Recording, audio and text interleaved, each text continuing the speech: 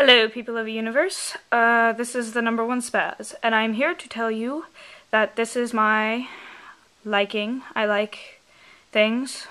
First of all, I'm going to start off with the Gorillaz. Yeah, so this is my Gorillaz Rise of the Ogre book. I waited for it like two weeks for it in the mail to arrive. I got it about, I don't know what time I got it, but it was a while ago and it's super freaking awesome and I love it.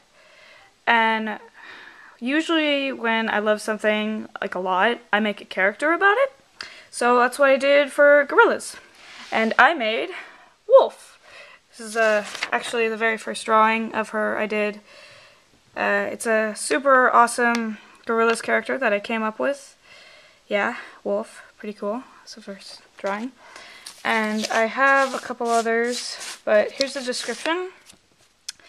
I will probably make a better copy of this, and this is all I have. It's uh, kind of a long, long, long, long, long, long, long story. But, long story short, Wolf is actually my made-up character for the band of Gorillaz and uh, she was found by Russell actually in when they were shooting in the graveyard for Clint Eastwood, made up by me. Yeah, so not real, but real to me. These are some little little things I made. That's yeah. This is wolf symbol. It's a wolf paw. Note note. Uh, this is a little sign I did. See, it says I don't talk, but I can still kick your butt. The moral behind that is wolf can't talk. And if you notice in this picture, Wolf has a moon-shaped scar under her left eye and a fang. Note, note, again. Through time, since the Gorillaz are like time time, she finds out that she can't talk because when she was very, very little, she was scratched by her father, who is a werewolf. She found that out. And the reason why she has the moon-shaped scar on her eye was because she is a werewolf.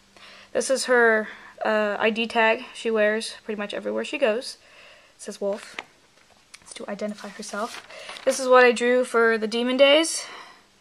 Yeah, pretty cool Demon Days album cover. Yeah. This is a little drawing I did of Wolf holding her sign. I don't talk, but I can still kick your butt. Yes, she's freaking awesome. Skull and crossbones there. Yeah, she plays a lot of instrument starting with uh, drums, because Russell, it's the first instrument Russell taught her to play.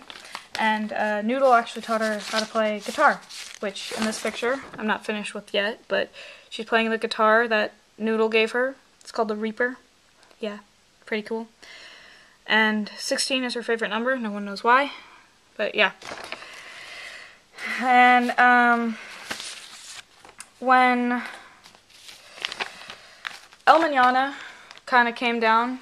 Wolf actually thought Noodle was dead, and obviously it's the first time every anyone ever saw her cry. This was a note she left after leaving the crash site.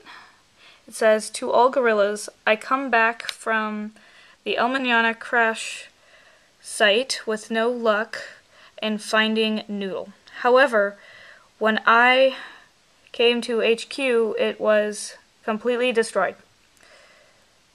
2D was nowhere in sight, could not find Russell, and Murdoc is probably in jail. I did find something interesting at the crash site, some mysterious footprints leading west. So if any of you come back, I'm looking for Noodle. Wolf. P.S.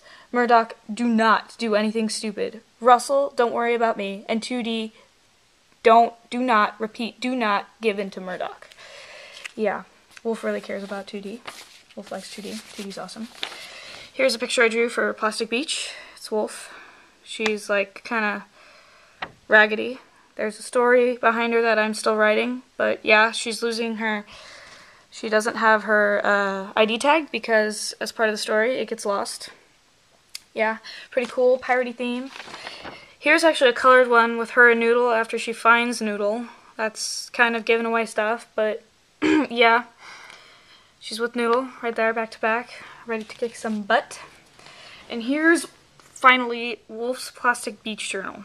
It says a lot, going through her journey to find Noodle, and here's some notes she takes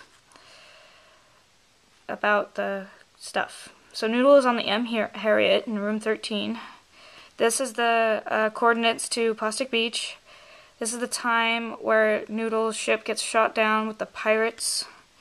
And then these are what Noodle, this machine gun is what Noodle has. Yeah, Wolf takes kind of a note. She's kind of persistent about Noodle because Noodle is like her best friend and practically almost sister. So yeah, for all you gorilla lovers out there, that's just something I wanted to share with you guys. So yeah, Wolf, pretty sweet. Say bye, Susie.